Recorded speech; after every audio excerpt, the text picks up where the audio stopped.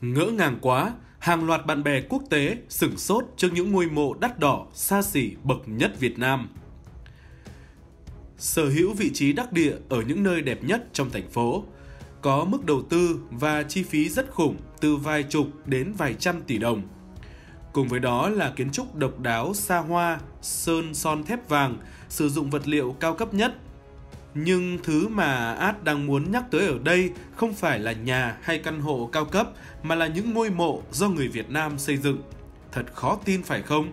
Nhưng gần đây, dân mạng quốc tế chính là đang bàn tán sôi nổi về những công trình này của Việt Nam đấy. Ngay bây giờ, hãy cùng bỏ thông thái tìm hiểu xem họ nói gì nhé. Từ xa xưa, phong tục thờ cúng tổ tiên được xem như là nét văn hóa truyền thống thể hiện đạo lý uống nước nhớ nguồn của con cháu đối với những người đi trước. Chính vì vậy, việc xây dựng mộ cho người đã khuất được xem là việc làm quan trọng và tập tục này đã kéo dài qua rất nhiều thế hệ. Và mới đây nhất, Việt Nam đã gây choáng và làm xôn xao cộng đồng quốc tế vì một số ngôi mộ đắt đỏ, xa xỉ có giá lên đến hàng tỷ đồng. Đúng là giới thượng lưu khi sống ở trong lâu đài thì khi qua đời cũng được ở trong những ngôi mộ xa hoa lộng lẫy, sau đây, chúng ta cùng điểm qua những ngôi mộ xa hoa đắt đỏ bậc nhất Việt Nam nhé.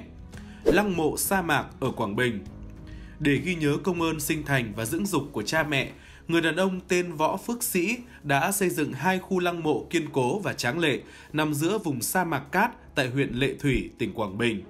Hai lăng mộ có diện tích 1 hecta, được đầu tư hơn 10 tỷ đồng và được cho là đều nằm ở vị trí phong thủy đẹp, được xây dựng theo lối kiến trúc Á Đông với vật liệu chủ yếu là xi măng, cốt thép. Trong đó, khu lăng mộ của các cụ ông còn có một dòng suối nhỏ chảy qua, uốn lượn tựa thế rồng, phía trước là tượng Đức Phật lớn. Và một số bạn bè quốc tế đã rất quan tâm đến công trình này và để để lại những bình luận. Chúng ta hãy cùng điểm qua nhé. Wow, nếu không ai nói cho biết rằng đây là một ngôi mộ, tôi sẽ nghĩ là một ngôi chùa nổi tiếng đấy. Có phải cứ sống ở Việt Nam sau khi đã khuất là ai cũng có hẳn một khu lăng mộ không? Trang trọng và xa hoa, thật sự rất đầu tư. Tôi đoán chắc đây là một người con có hiếu. Sơn Trang Tiên Cảnh Sơn Trang Tiên Cảnh ở Tây Ninh sở hữu vị trí rất đặc biệt khi được dựa lưng vào núi Bà Đen, linh thiêng huyền bí. Cách đó không xa lại là con sông Vàm Cỏ Đông nổi tiếng, được xem là thế phong thủy cực tốt, hội tụ nhiều nguồn linh khí, Người ta tin rằng khi mà người mất được chôn cất ở đây thì sẽ giúp con cháu của họ sẽ làm ăn phát tài mà bản thân người mất cũng được an nghỉ vĩnh hằng. Tất nhiên, vị trí đẹp thì luôn đi liền với một giá tiền không rẻ. Hầu hết các nhà mồ ở Sơn Trang Tiên Cảnh đều được xây dựng với chi phí cực kỳ đắt đỏ, bèo nhất cũng phải tầm 2 đến 3 tỷ đồng.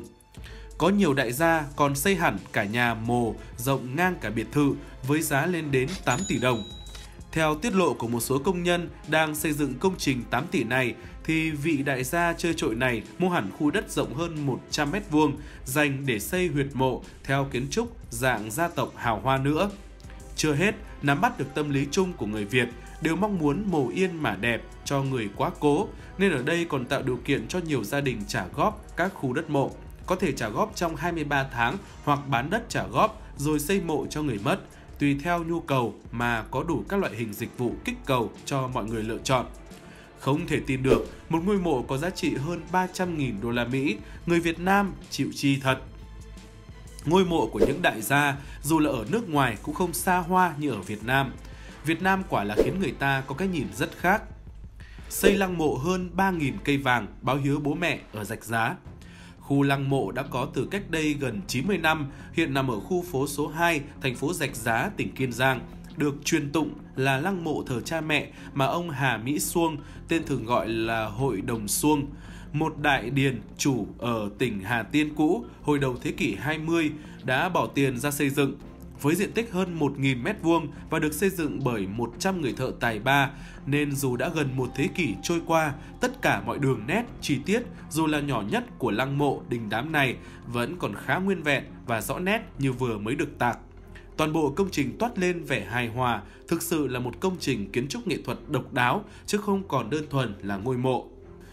Theo đó, phần mộ của cha và mẹ ông Hội Đồng Xuông được làm bằng đá trắng, nắp mộ bằng phiến đá xanh nguyên khối tuyệt đẹp. Những loại đá ông Xuông đã phải lặn lội sang tận Hồng Kông để mua hoặc được nhập từ Thụy Sĩ về.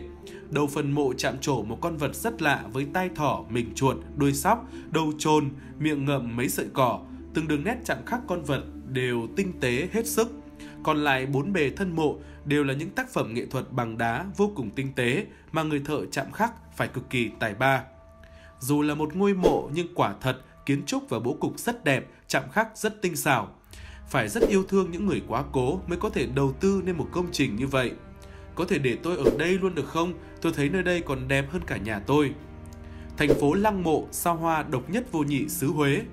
Nơi đó chính là nghĩa trang làng An Bằng, xã Vĩnh An, huyện Phú Vang, Thừa Thiên Huế, vốn nổi tiếng bởi những ngôi mộ từ hàng trăm triệu đến vài tỷ đồng. Nghĩa trang này có diện tích khoảng 47 hecta nằm dọc theo bờ biển. Khi vào nghĩa địa này, người ta phải choáng ngợp như đứng trước một đám nấm kiến trúc khổng lồ đủ màu, đủ cỡ mọc lên trùng điệp trên bãi cát dọc bờ biển. Những ngôi mộ không nằm tách biệt trên các sườn đồi hoặc xa khu dân cư mà là trải ra dọc biển và xen lẫn với những ngôi nhà của người sống. Và cái giá sau khi nghe xong, mình đoán chắc các bạn sẽ phải ngỡ ngàng bật ngửa đấy. Chi phí xây dựng một ngôi mộ bình thường tại Nghĩa Trang An Bằng trung bình đến 50.000 đô la Mỹ, tương đương 1,2 tỷ đồng. Còn nếu muốn xây một siêu lăng mộ thì giá phải lên đến 200.000 đô la Mỹ, tương đương gần 5 tỷ. Với độ hoành tráng như thế thì thời gian xây dựng có khi lên đến hơn nửa năm cùng hàng chục công nhân làm việc liên tục.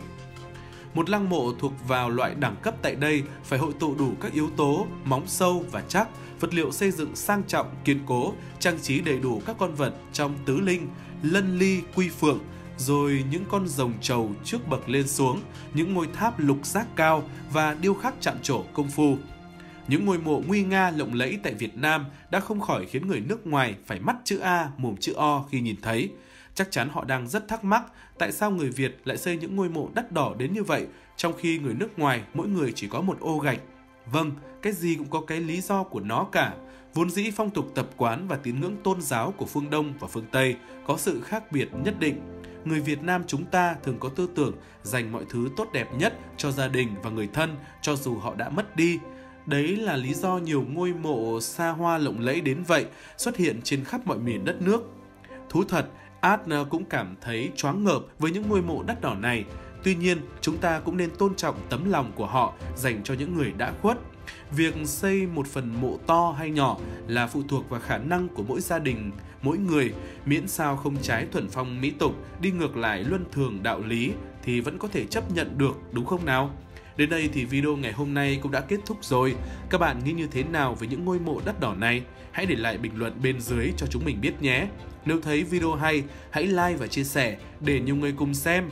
Và cũng đừng quên nhấn follow kênh để giúp Bò Thông Thái sớm đạt 20.000 lượt đăng ký nhé. Xin chào và hẹn gặp lại các bạn ở những video tiếp theo.